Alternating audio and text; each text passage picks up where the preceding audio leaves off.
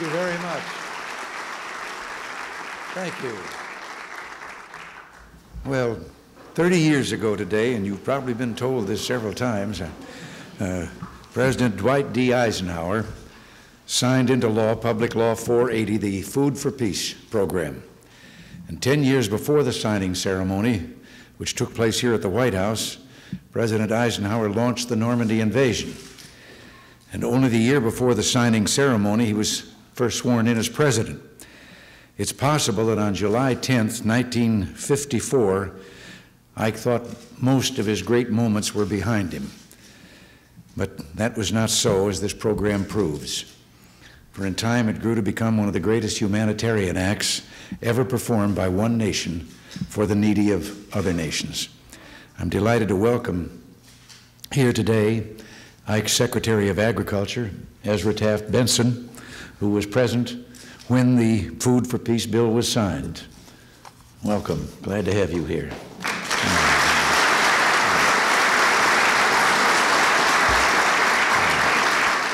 Food for Peace is still the largest food aid program in the world.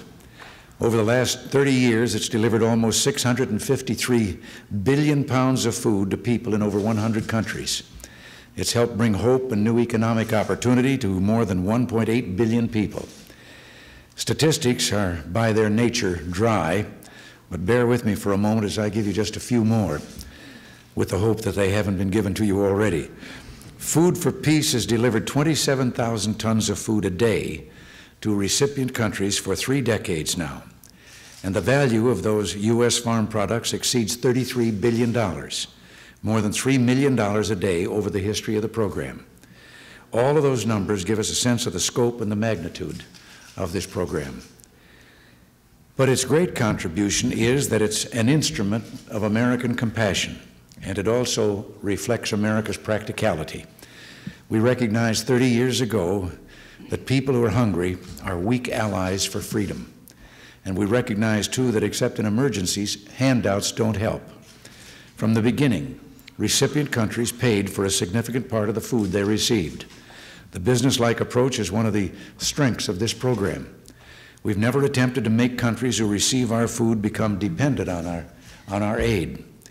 In fact, we've used our aid to foster economic development around the world. And that is an important reason why, over the years, many of the nations that have received our aid have eventually become major commercial partners. In the early days of Food for Peace, the major recipient nations were the war devastated economies of Europe Italy and Spain, West Germany and Japan, and with time and with the help of Food for Peace, those economies regained their strength. They began to pay cash for American farm commodities. Many of these countries have become our top commercial partners. Eight of our top 10 agricultural markets are former recipients of Food for Peace aid, and Japan is now our number one agricultural market on a cash basis. Now, that has not only been good for the American farmer and the American economy, it's been good for our international relations. Food for Peace has been very important in spreading goodwill and generosity throughout the world. When droughts and flooding from the El Nino weather disturbances destroyed food crops in Peru, Bolivia, and other Latin American countries last year, Food for Peace took the lead in providing emergency relief. And during the 1966 famine in India, roughly 60 million people are estimated to have been sustained for two years by Food for Peace shipments. Today, we face a severe and widespread famine in Africa, which is threatening the lives of millions. And once again, Food for Peace is saving lives. We've already agreed to provide over $400 million for food assistance to Africa in this year alone. And I want to announce today a major initiative to help the starving people of America, or of Africa, I should say, and the world. It's a new program to help us deliver food more quickly and smoothly to those who suffer the most from the ravages of famine.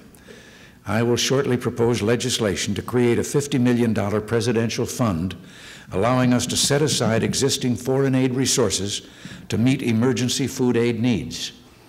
By pre-positioning food stocks overseas, where the requirements are the greatest, we can respond to emergency situations more rapidly and effectively. I will also propose authority to allow the Food for Peace program to reduce the burden of transportation costs on the most needy countries. And all this is aimed at reducing the loss of life to acute hunger in the third world. Food for Peace has come to embody the spirit of American voluntarism. The federal government has developed a strong partnership with the private sector to help feed malnourished infants and children, to help mothers and the aged and the disabled. This cooperative effort with private and voluntary organizations includes such agencies as CARE and Catholic Relief Services, and many other groups are helping also. In short, the Food for Peace program has become a wonderful means by which a nation of abundance has helped those in need. It's helped us expand agricultural markets, get needy allies back on their feet, and help potential allies become strong allies for freedom. Food for Peace has helped to coordinate the charitable impulses of the private sector. It's helped feed the weakest people in the world. And this record of progress is the result of what happened 30 years ago today when Dwight Eisenhower picked up a pen and signed a piece of paper that quietly and with no great attention from the wise, he changed the world. I think Dwight D. Eisenhower would be very proud of what the Food for Peace program has accomplished. I certainly am, and I'm proud to be able to mark with you its anniversary today. May Food for Peace continue its great work. May it continue to be administered wisely, and may we continue to combat hunger and malnutrition throughout the world. Now, I thank you all again for being here. God bless you. And now I'll sign this proclamation, which designates today, July 10, 1984, as Food for Peace Day.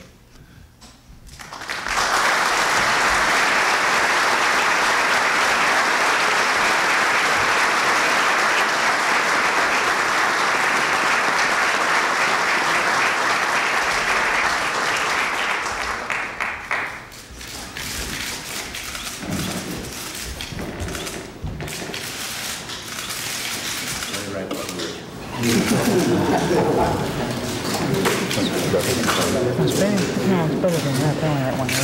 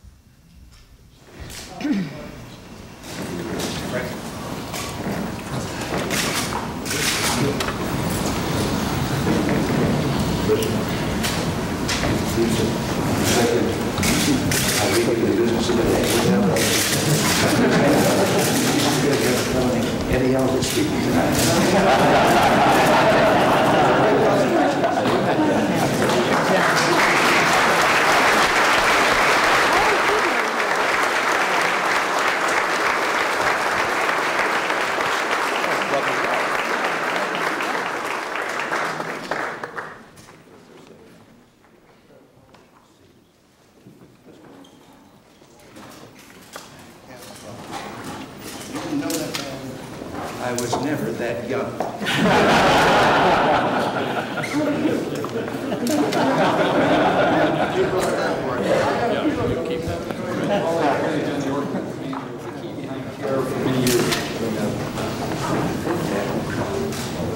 Was either John was married or he wasn't killed.